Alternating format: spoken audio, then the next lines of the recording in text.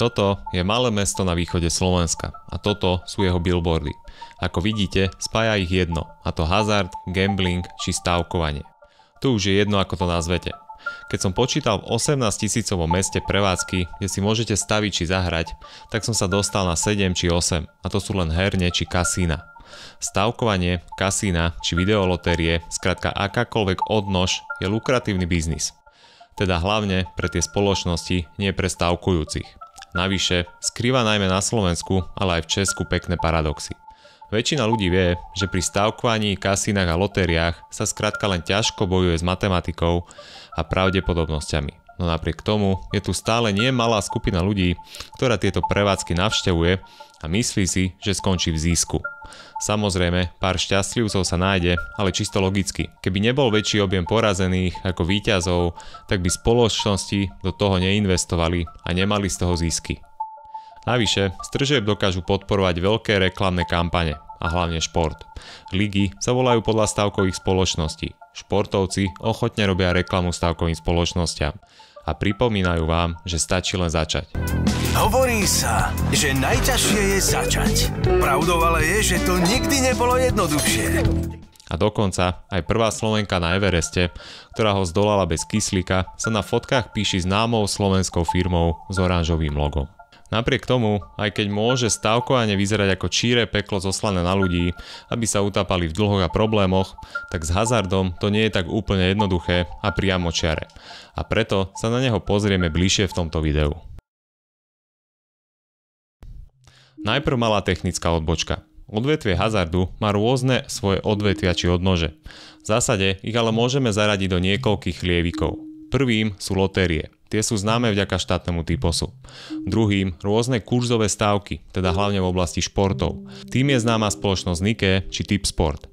No a potom sú tu hazardné hry na výherných prístrojoch či technických zariadeniach alebo rôzne stolové hry.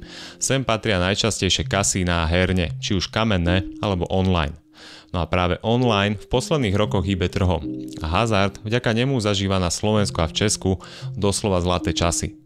Keď sa pozrieme na objem stávok v tomto odvetví, tak od pandémie ľudia stavia najväčší objem peňazí v internetových kasínach a vo videolotériách.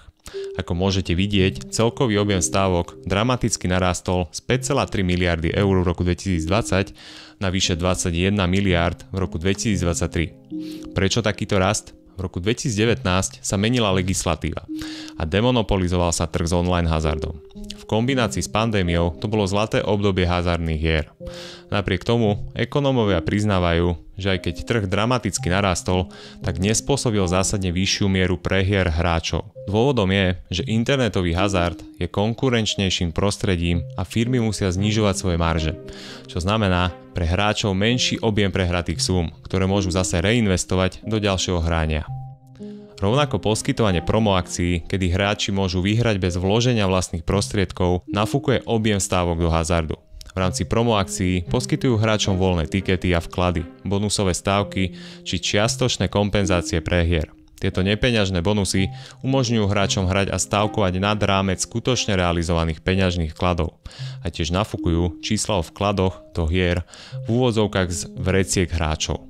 Hazardný biznis je špeciálny aj čo sa týka hodnotenia finančných výsledkov firiem. Každá má iné gro biznisu, kým jedna rieši stávky, iná prioritne pobočky s hracími automatmi.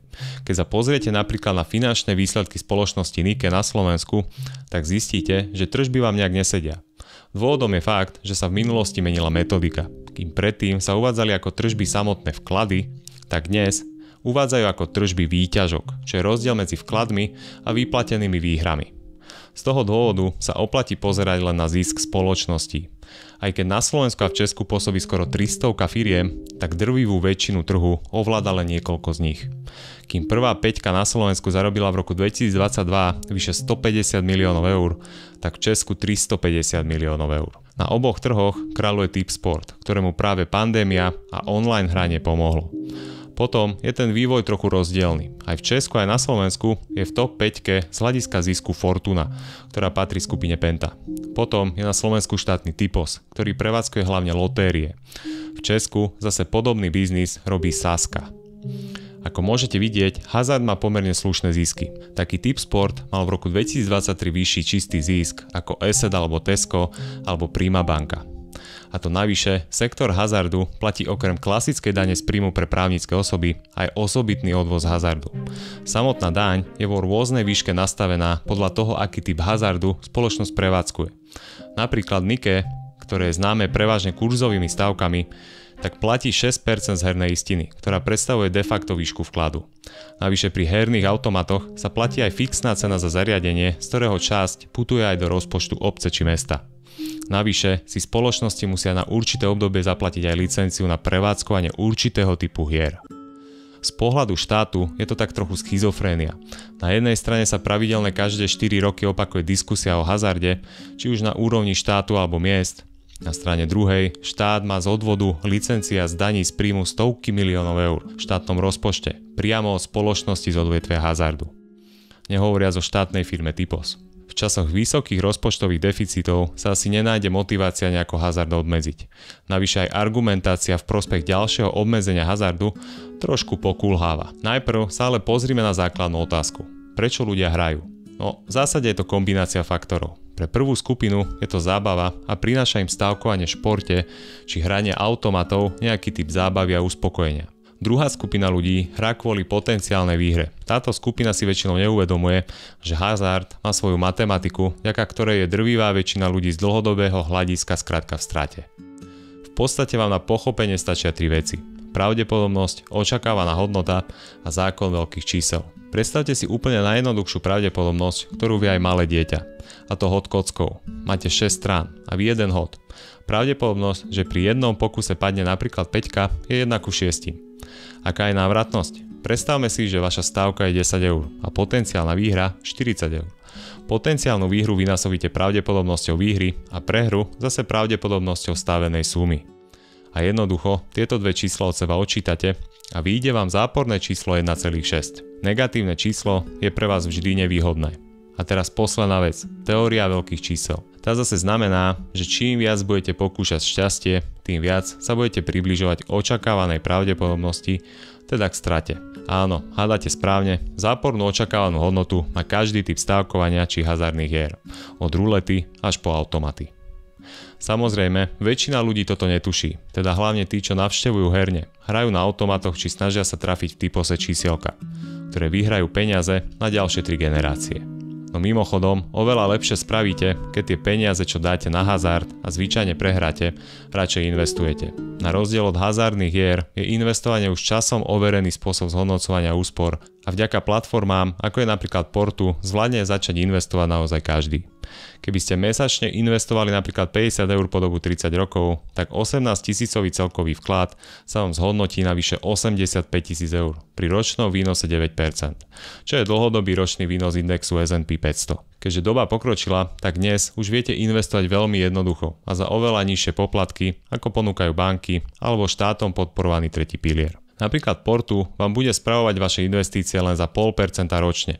Keby ste sa rozhodli investovať si na dôchodok a našetrené peniaze by ste si začali čerpať po 60. roku vášho života. Na registráciu môžete využiť aj link v popise tohto videa a po zainvestovaní prvého vkladu získate bonus 20 eur a 3 mesiace bez poplatku. Problémom je, že na Slovensku sa ani poriadne neeviduje štatistika, ktorá by hovorila o tom, koľko ľudí je v rizikovej kategórii a môžu prepadnúť hraniu. NCZI eviduje len pacientov na psychiatrických oddeleniach, teda hospitalizovaných, tzv. patologických hráčov, ktorých sú len stovky. Realita ale bude pravdepodobne horkejšia. V dvakrát väčšom Česku tieto štatistiky majú. Predpokladá sa, že za rok 2021 si tam stavilo 5 až 15% Čechov nad 15 rokov v kamenných prevádzkach a 3 až 17 online. Pritom sa odhaduje, že 10 až 20% stavkujúcich spadajú do vyššieho rizika vzniku závislosti. Kým v Česku sem spadá asi 100 tisíc hráčov, u nás to môže byť presne polovica. Keď skombinujete tieto rizika s jednoduchou matematikou, kde väčšina ľudí skrátka v dlhodobom horizonte prehráva a naopak vyhráva spoločnosť, tak nastáva logická otázka. Je hazard vôbec potrebný a nemal by sa zakázať? Tí, ktorí sú za obmedzenie či zakázanie hazardu, zvyčajne argumentujú spoločenskými nákladmi. K tým existuje len pomerne málo štúdií a je to taký trochu všeobjímajúci pojem, ktorý sa snaží vyčísliť všetky dôsledky hazardu a priradiť im nejakú ekonomickú hodnotu. Napríklad zvýšenie rizika možnej závislosti, náklady liečby, náklady straty práce, zníženej produktivity zamestnanca, ktorý podľahol hazardu, náklady na problémy, ktoré môžu súvisieť s rodinami. Rozpad rodín, exekúcie, dlhy a podobne. Problém je, že mnohé z nich nie sú spoločenskými nákladmi, ale skôr individuálnymi.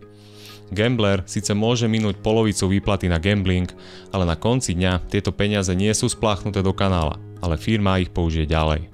Tieto náklady firmy zase dajú prácu niekomu inému a zároveň zaplatia nemalé dania a licencie. Skrátka, je to len zodpovednosť toho jedinca. Depresie, psychické problémy sa opäť týkajú len závislého hráča. Samozrejme, problémy v rodine a dopad na ostatných členov rodiny je už skutočný spoločenský náklad. Rovnako nie je dokázané, že hazard je len posledným kúskom do skladačky, kedy sa závislý hráč ocitne na dne. Z výskumov vyplýva, že závislí hráči mali už problémy predtým, či už s alkoholom alebo iné psychické problémy a v hraní len našli dočasnú útechu. A potom je tu taká typická filozofická otázka. V čom je iný hazard napríklad od alkoholu? Prečo by mal byť hazard úplne obmedzený, začal čo najväčšia metla spomedzi závislostí je pomaly voľne dostupná všade, teda okrem reklamy, ktorá môže byť vysielaná v televízii až po 20. hodine. Mimochodom cigarety majú zákaz reklamy úplne. Suma sumárum, štúdii, ktoré by dokázali objektívne vyčíslovať spoločenské náklady hazardu, je ako šafranu aj medzi nimi sú príliš vysoké rozdiely v číslach. Rovnako si treba položiť otázku, čo s hazardom spraviť. Zakážeme akýkoľvek hazard? To zase otvára brány černému trhu. Zregulujeme ho príliš? To zase vytvorí monopoly. Pravdou je, že hazard je už pomerne silno zregulovaný aj dnes. Okrem daní či poplatkov za licencie musia aj jednotlivé typy hazardu dodržiavať aj iné opatrenia. V Česku aj na Slovensku môžu mesta a obce prostredníctvom všeobecne záväzného nariadenia zakázať prevádzky herní a kasín úplne. Nehovoriac o tom, že si môžu určiť, koľko prevádzok v meste povolia. Zároveň sú tieto prevádzky vždy prelepené, aby ste dnu nevideli, teda aspoň na Slovensku. Zároveň herne sú povinné nepúšťať dnu ľudí pod 18 rokov a ľudí, ktorí sú na zozname vylúčených osôb, teda osôb, ktoré napríklad poberajú dávku v hmotnej núdzi, majú diagnostikovanú chorobu patologického hradstva alebo majú povinnosť platiť výživné alebo z iného dôvodu sú súčasťou zoznamu. Neskôr dostali túto povinnosť aj ostatné typy hazardu. A tak dnes si už najviac rizikoví hráči nezahrajú ani online, ani v kamennej prevádzke. Na druhej strane, keď si napríklad skombinujete umiestnenie pobočiek známej oranžovej firmy s atlasom rómskych komunít, ktorý monitoruje veľkosť rómskych komunít v mestách a obciach, tak zistíte, že pobočky sa nachádzajú aj v blízkosti známych osád. Či je to kvôli tomu, že marginalizované komunity, ktoré sú často chudobné, sú povolnejšie voči hazardu, sa už samozrejme nedozviete. Ale nevrhá to úplne pekné svetlo. Priznám sa, že predtým ako som šiel písať scenár, som mal na hazard vyslovene negatívny pohľad avšak po naštudovaní problematiky nie som úplne rozhodnutý, na ktorej strane stojí. Na jednej strane hazard vytvára komunitu závislých ľudí, rozbíja rodiny a tvorí dlhy a osobné bankroty. Na strane druhej väčšina hráčov vie tieto svoje chute ovládať.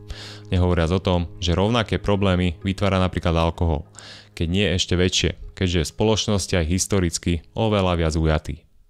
Riešením môže byť lepšie vzdelávanie a propagácia medzi ľuďmi, kde by sa zdôrazňovalo, že hazard vytvára aj závislosti, s ktorými súvisia ďalšie problémy. Dobre je si v tomto prípade spomenúť napríklad na fajčenie. Pred 30 rokmi bolo oveľa, oveľa populárnejšie ako je dnes. A samozrejme, stále je na debatu, či je etické, aby firmy používali slogany ako stačí iba začať a nabádali tak na lepší zážitok zo športových podujatí. Aj keď treba pripomenúť, že nakoniec bola táto reklama pozastavená po napomenutí radov pre reklamu. Avšak nezabúdajte, keď už sa rozhodnete staviť na nejaký zápas, tak myslíte na to, že matematika ide proti vám. A ekonomickejšie bude, keď si peniaze radšej odložíte do budúcnosti. No a nezabudnite, keď sa vám video páčilo, dajte mu like a tomuto kanálu odber, aby ste žiadne ďalšie video nezmeškali. No a keď ma chcete podporiť aj finančne, môžete mi napríklad kúpiť kávičku.